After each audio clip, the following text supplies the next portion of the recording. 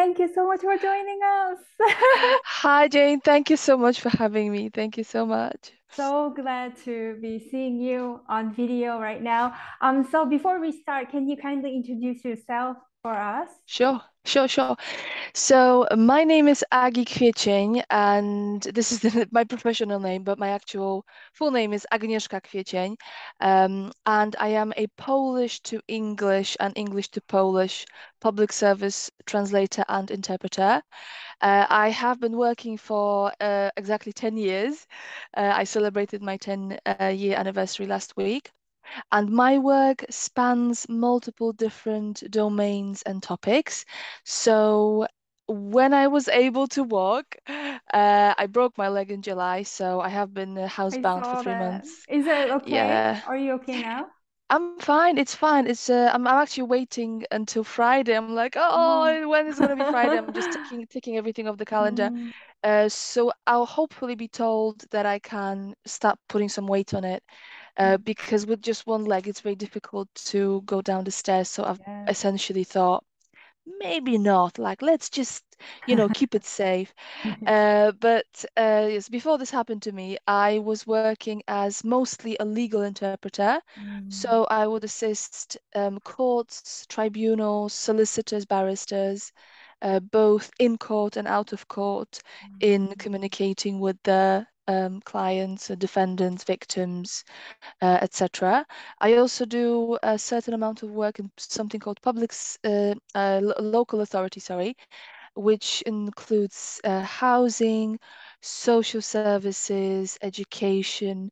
Uh, education is one of my biggest um, specialties because I have a background in education. I'm a trained teacher of English and I had multiple uh, roles and yeah, it seems like a lifetime ago. Yes. Um, I actually uh, I did some some teaching work uh, before I relocated to the UK, which was fairly quickly Really? after I finished my degree. Mm. Uh, but yeah, and uh, I recently started my adventure with YouTube, and that's what I've been doing. It's honestly a blessing because it really keeps me occupied when I'm sitting at home. Uh, so yeah, that's me. Very exciting. Um, so congratulations again for your 10, 10th year anniversary. Thank you. Ah, something else. yeah, So, hmm. So is it also a way of you celebrating, you know, to start YouTube? I, I mean, you mentioned about, you know, about your leg, but also I can see a lot of things are happening in your life. I know. Um, well, this this is I think it's equally a blessing and a curse because I'm a very busy person and I love doing things, but I'm very limited as to what I can do. Uh, like the most I can do right now is hoover with with one hand, so my poor fiance has to do most of the things, which leaves me with a great deal of time to pursue projects. So the 10 year thing was um, something I've been thinking about this for quite a long time, you know, how to just incorporate the key points, which, you know, on a certain level is impossible because there's so much that you learn and uh, there's so much that you can really convey. Uh, but uh, I wanted to just put put it together like in a nice, neat list, and you know, it's a nice round anniversary. And I actually recorded a follow-up video with 10 more lessons. Oh, lessons yes, yes, yes. uh, Tomorrow, right? and it's it's pre pre pre to roll. Yes, you see, right. Um, so the YouTube thing, I actually set up a YouTube channel almost a year ago again, and I put some videos that I did for an organization called uh, International School of Linguists. We did a series on telephone interpreting. It's called Telephone Interpreting Masterclass. Um, and I really enjoyed doing it. I just found that it's so cool to talk about your experiences with a person and, you know, that kind of interview format. It's all the rage right now. So I thought, well, this is brilliant. And then nothing happened for nearly a year. And then I just found myself with time on my hands. And I thought, well, YouTube might be, you know, giving way to other formats slightly but there is still a lot of people who learn from it, including myself. Um, myself and my fiance are spoiler, well, spoiler alert, or you know, Oh, full oh. disclosure, we're tarantula keepers. So we keep tarantulas. Oh, I've got them sitting on my desk. Yeah, they keep me company. Um, and he, I got him into the hobby as well. So we both watch videos about tarantulas. And for many people, YouTube is like Google. They will go and look for how to cook something, you know, how to change a tire. And there is so much there, you know, that you can really incorporate in something accessible because not everybody likes to read and Mm, I, you know, I, I am an avid reader, but I appreciate that not everybody likes that medium, but they still want to learn. And, you know, like TikTok might be just a bit too, you know, too fast or too gimmicky. So I thought, okay, I'm going to concentrate on YouTube and I'm going to have a strategy of what I want to put out there and I want to share, uh, you know, with people because as an interpreter, I love to talk. I love to talk about what I do. My family and friends are literally sick to death of me, you know, jabbering about, I had this assignment and it was cool. And like, yeah, yeah, Aggie, just. Uh. So I thought, why not share it with the world? And also, may it be a benefit to people who are maybe just starting out or who want to learn more about public service interpreting, because this is a type of um, interpreting that is ever present but it's always, and I'm saying it always, well, in 99.9% of cases, it's always represented incorrectly in the mainstream media. mm, So, uh, for example, if you watched, um, I don't know if you're a Marvel fan, I'm quite a big Marvel fan, and I was watching, what was it, a Hawkeye? Uh, and there were there's a character there who uses American Sign Language and I literally nearly flipped when uh, uh, when the, the character appeared. I'm not gonna like spoil it for people who haven't watched it. Um, she uses ASL, and the person who interprets for her goes, "Well, she's saying that," and I'm like, "Oh no, no, please stop, please stop. That's not what you're doing." But then miraculously, I I'm guessing there was a bit of a backlash. They got it right in the second episode. mm, Uh, so the person was interpreting in first person, so it's not he said, she said, but it's the interpreter speaks as if they were the person. And this is just one of the things that is just a source of frustration for me.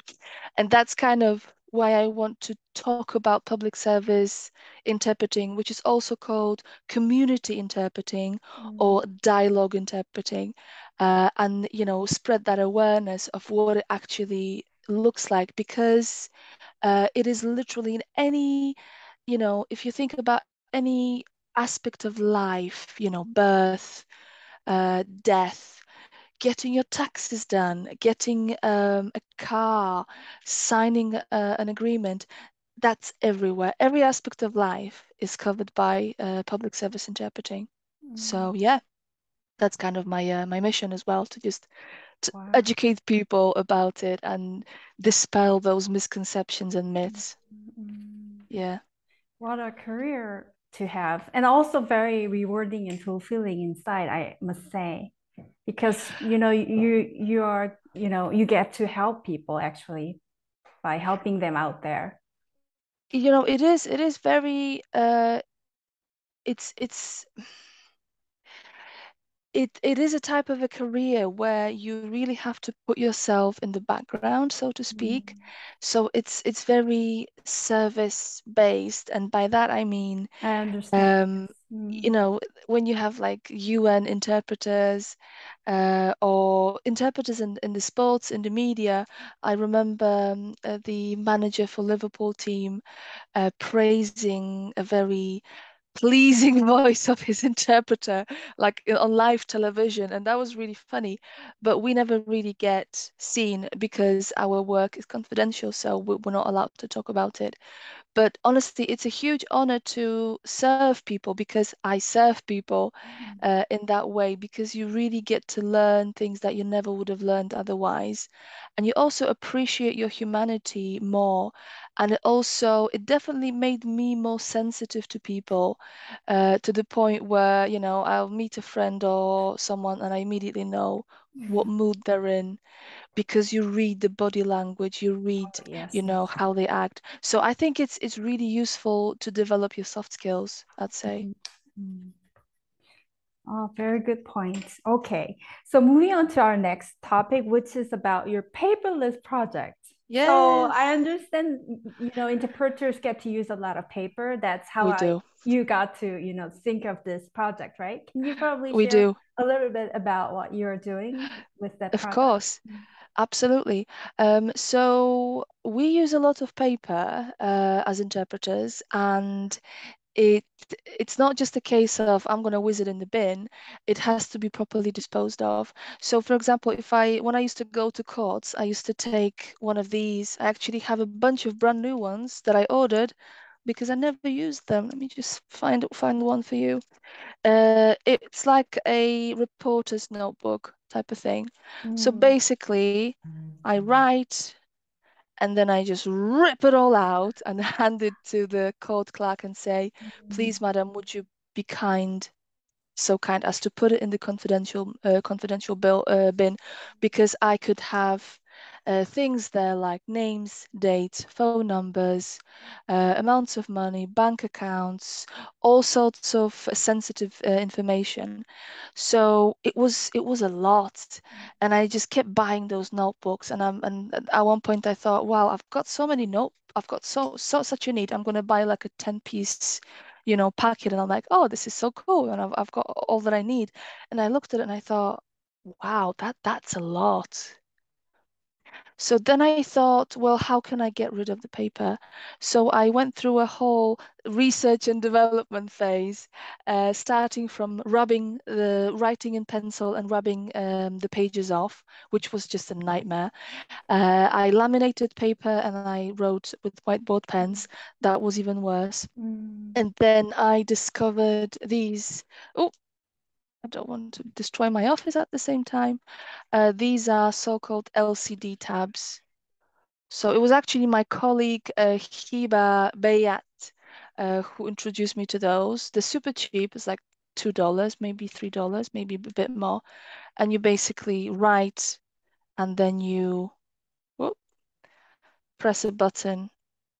Nope, it's not cooperating today, or I forgot how to use them. Yeah, press the button and it, Yep. yeah. Disappears. Awesome. Yes. Yeah. So you can just the uh, there's like a companion app to it that you can scan, but I think it's just a waste of time. So I I don't uh, I don't think it's it's really worth the hassle. I just cl click and remove it. Um, but the issue with that is that um, they you, you have to basically have a couple of them because th- there's only so, so much space. Yes. And for example, if I'm in court and someone starts to talk about tell a story, Mm. or if there is a lot of details, you write and write and write and write. Uh, so I thought, well, why not have a notebook Mm. with more pages Mm. like that? So then I I um I was posting about this is a basically this is a wonderful thing about having an interest in something and posting about it because I was posting my like initial ideas about paperlessness and I like mentioned uh, a whiteboard, uh, Onyx Boox, tablets, those uh, LCD tabs. And a lady who is an agency owner mentioned Rocketbook, and I'm like, what's a Rocketbook? And I looked it up on the internet, and they're brilliant. Uh, and I've been using them ever since because I don't always have time to go click, swap, but sometimes I just need to keep writing and then, you know, flip the page and go back.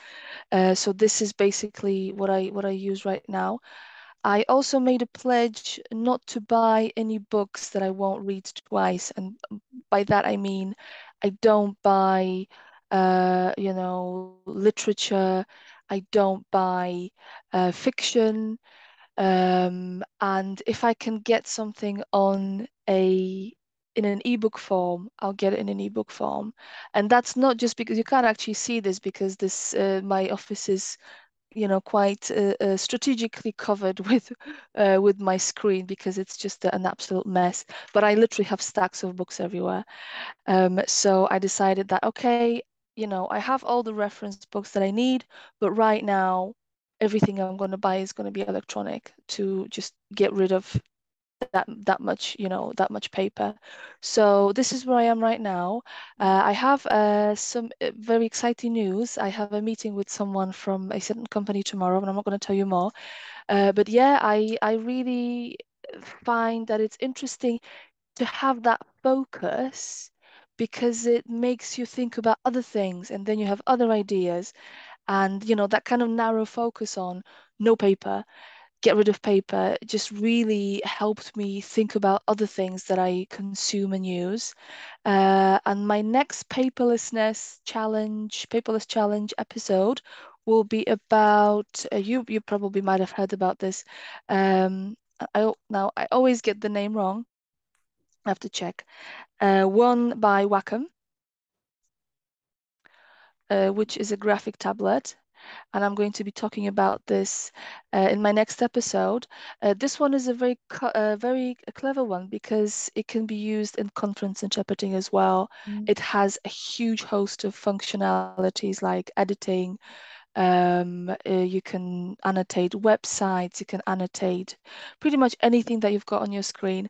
So I'm going to be talking about this next. So yeah, I'm, I'm excited. Exciting. See where it goes. yeah. so many more things to come on your new yes. YouTube, I guess. We will yes. really follow you on YouTube. So thank you um, so much. So that was for your YouTube. Any closing comments before you go for your fellow translator or, or interpreters? Um, well, first of all, uh, I would like to thank uh, you, Jane, for inviting me. It's just such an honor to talk about like something that's really, you know, a, a, source of passion for me. And what I would say to translators and interpreters, um, uh, especially to my fellow public service interpreters, I would say that um, get yourself on LinkedIn. I love giving advice. Get yourself on LinkedIn. If you're not on LinkedIn, get yourself on LinkedIn. Uh, LinkedIn has changed changed my life. It's one of the best things uh, in terms of social media. Uh, and a lot of people think, oh, it's all just business people in suits, but it's really not. And even if you don't necessarily have things to post, you can always learn.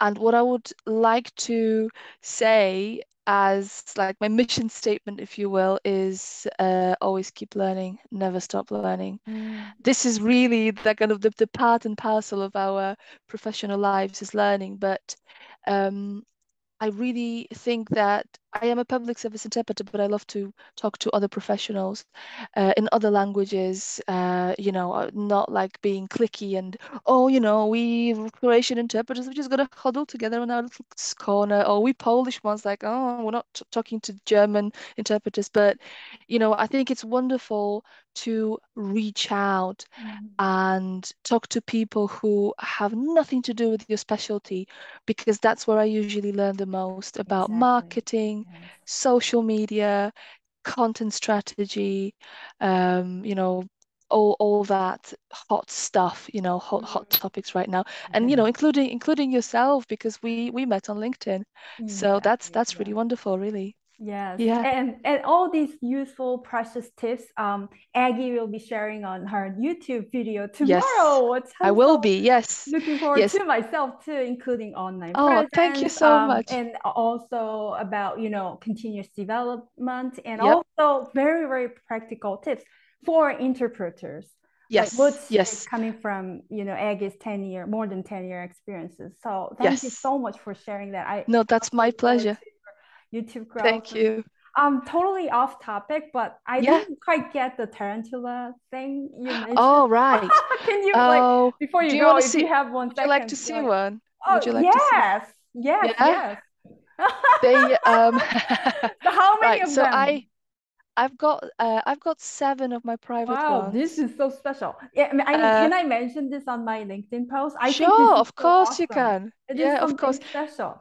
It's it's a yeah. weird hobby that I have. I've always wanted to have one. I've always oh, I've yes, always dreamt yeah. about my friend, my really good friend, took me to her um, uh, workplace. She used to teach animal care, and she let me handle one, oh. and it was a, like a really big fluffy tarantula. I've never been scared of spiders, but you know I've been kind of indifferent but she let me handle one and it's such an amazing experience it really is they are very people are like oh they're disgusting they're actually really nice to touch although they don't like it um they they no they they they get used to it some of okay. them get used to it okay but um yeah and then three years wow. ago she took me to uh, like a special um it's Ooh. called uh there you go this is ambrose. Can you see wow, him? yes, yes, very clearly. Yeah.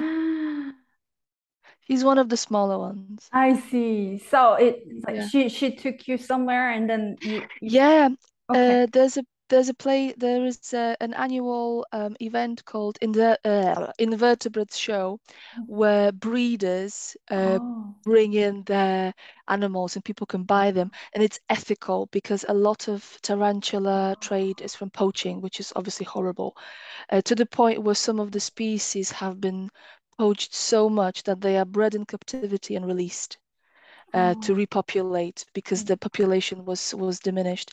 Um, so I started with one. Uh, she's called Arachnia. She is very cranky, and then I thought, wow, I like the look of that one.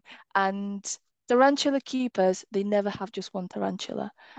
Uh, you usually have about 20, well, I, I can't speak for anybody else, but you like minimum is 10, you know. So uh, I really I've got seven. I've got seven. My fella has a really, uh, he's got a really funky one uh, that lives on trees. Mine just sit oh, on the ground and chill all day. So they are all But yeah, different, which is amazing. They are. are just like Yeah, yeah, us, yeah. They are. They, they, they have personalities. This is this is really weird because they just like they don't have brains like we we think. You know, brains, the invertebrates, so that the the intelligence is limited. But if you say have a species uh, which can be quite skittish and nervous. You might come across some that are quite like, yeah, fine, you want to pick me up, go ahead.